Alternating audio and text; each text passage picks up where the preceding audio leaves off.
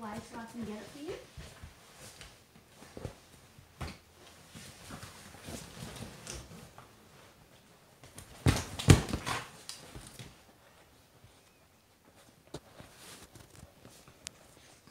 Is